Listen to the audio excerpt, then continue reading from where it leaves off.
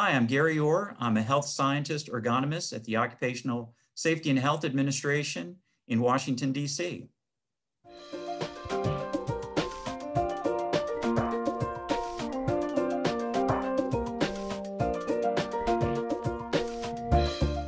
The thing I like the most about the conference, and I've been going to the conference now for since the beginning. I was at the first conference. I missed one conference in between, but I've been going to all the ones, all the conferences. And the thing that keeps me coming back is to be able to talk to practitioners and practitioners from a variety of industries from all across the world. And not only do you get uh, to talk to the practitioners who, who are on the ground doing the work, but you talk to designers and researchers as well. And so you get the full array of the, of the people who are out there in the field. Secondly, to me, what I really enjoy is the Ergo Cup. The Ergo Cup is like a short course on how to sell a project. You get all the information you get to go to management with. You talk the language of management. And uh, of course, I get some great ideas from the uh, Ergo Cup as well. And, and third, it's probably the most varied group of vendors that I've ever seen at an ergonomic conference. So wide variety of different solutions for different industries. So those are the, the things that keep me coming back to the conference.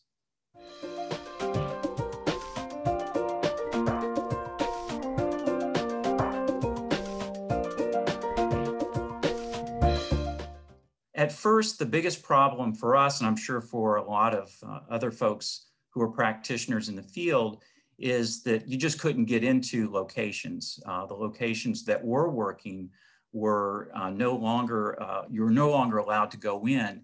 So we've, we've worked through that. We're able to go into those locations. We're able to talk to workers and look at uh, the types of jobs that they're doing. And what I'm finding is that these uh, essential workers are extremely fatigued, both physically and mentally. And I, my sincerest thanks go out to uh, these workers, the, the essential workers who have had to go in, you know, when we can enjoy some of the things that, that they've been able to produce, they're out there working and, and a lot of them are very nervous uh, about exposures and the type of work that they're, they're uh, exposed to.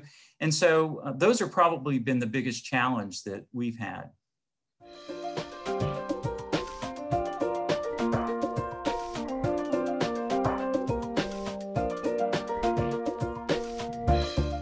So this is probably one of the bigger questions I get, not only from people outside of, of our work group, but within our work group, uh, people asking, I'm feeling some pain, what should I be doing? And we're seeing a lot of people looking at, should I be a standing workstation? Should I be a sitting workstation? And really the best workstation is when you change postures. That's the best thing that you can do.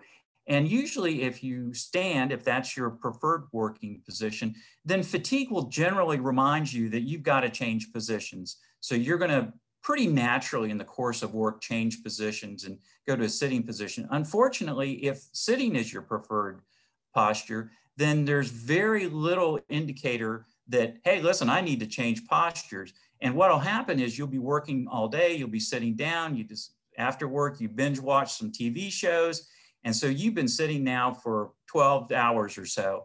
And day after day of doing this, you're going to start to notice that the muscles, the joints are starting to get achy.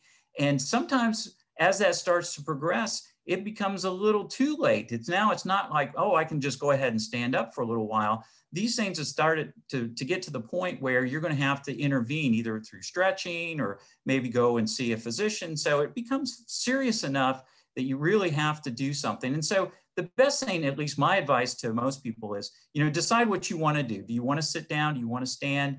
And try to work between the two of them. And if you do notice that you're starting to develop some aches and pains, then start to look at, you know, listen to your body, look at some stretches that might be able to help those, those particular areas get some blood flow back in, into that joint or muscle.